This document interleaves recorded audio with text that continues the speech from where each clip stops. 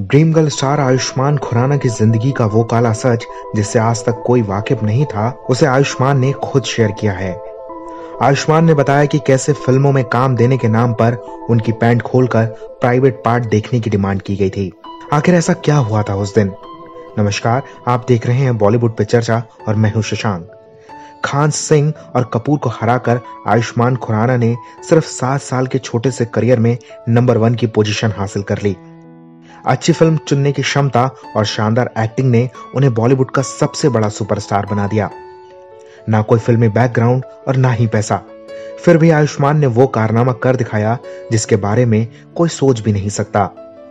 लेकिन आयुष्मान की ज़िंदगी में एक वो दौर भी आया, जिसने उन्हें बुरी तरह से तोड़ दिया। विकेट ओनर से पहले आयुष्मान उन दिनों फ़िल्म के लिए ऑडिशन देने जाया करते थे। एक दिन उन्हें एक फ़िल्म में साइड रोल के लिए कॉल आया। आयुष्मान ऑडिशन देने कास्टिंग डायरेक्टर के पास पहुँच गए। आयुष्मान को लगा कि उन्हें ये रोल मिल जाएगा। कास्टिंग डायरेक्टर ने आयुष्मान से कहा कि आप इस रोल के लिए पूरी तरह से फिट हैं, लेकिन आपको इसके लिए एक काम करना होगा। आयुष्मान ने पूछा, कैसा काम?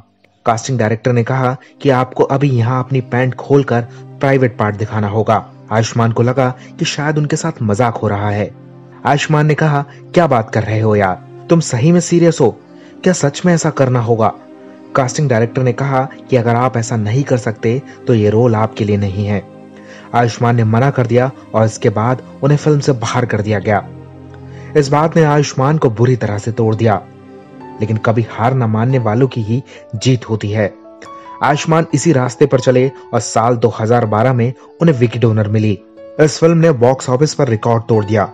पहली ही फ़िल्म से आयुष्मान ने साबित कर दिया कि अब वो बॉलीवुड के सूरमाओं को मात देने वाले हैं।